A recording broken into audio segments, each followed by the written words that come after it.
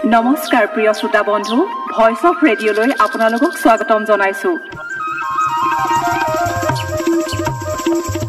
আৰম্ভ কৰিবলৈ লৈছোঁ পুৱাৰ ৰেঙনি।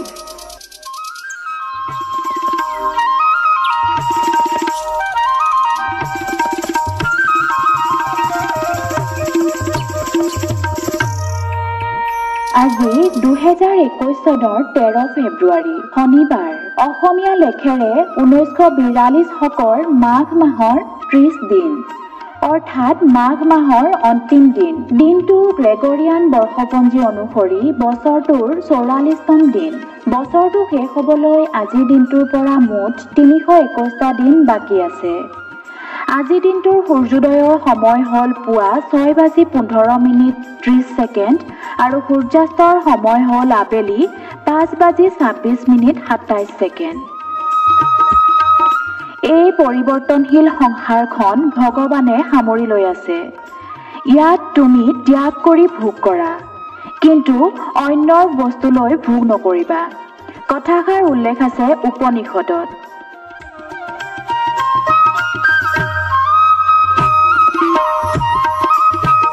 প্ৰিয় শ্ৰোতা বন্ধু আজিৰ দিনটোৰ কেইটিমান উল্লেখযোগ্য ঘটনাৰ বিষয়ে জানো আহক।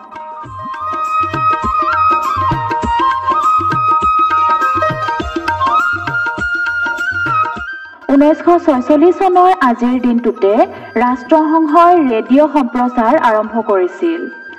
ঊনৈছশ একত্ৰিছ চনৰ আজিৰ দিনটোতে ব্ৰিটিছসকলে কলকাতাৰ পৰিৱৰ্তে নতুন দিল্লীক ৰাজধানী হিচাপে উদ্বোধন কৰিছিল।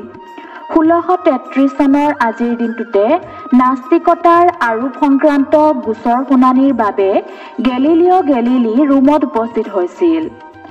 ঊনৈছশ ঊনষাঠি চনৰ আজিৰ দিনটোতে পৃথিৱীজুৰি অতি জনপ্ৰিয় বাৰ্বি পুতলা বজাৰলৈ আহে আৰু বিক্ৰী আৰম্ভ কৰা হয়। দুহেজাৰ এক চনৰ আজিৰ দিনটোতে মহাকাশৰ ইৰোছ নামৰ ক্ষুদ্ৰ গ্ৰহত প্ৰথম মানৱযান উপস্থিত হৈছিল। দুহেজাৰ তিনি চনৰ আজিৰ দিনটোতে য়শ চোপ্ৰালৈ দাদা চাহেব ফাল্কে বঁটা প্ৰদান কৰা হৈছিল।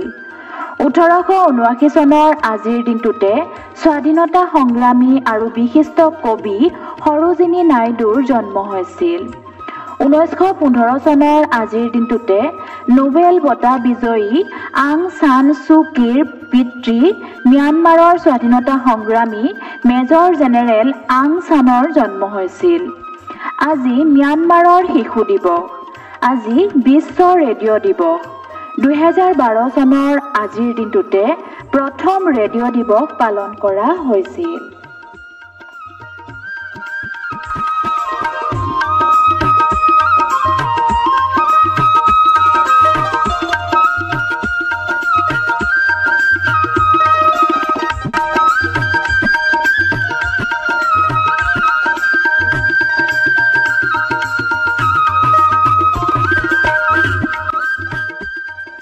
প্ৰিয় শ্ৰোতা বন্ধু এই চেনেলটো ছাবস্ক্ৰাইব লাইক আৰু কমেণ্ট কৰিবলৈ নাপাহৰিব।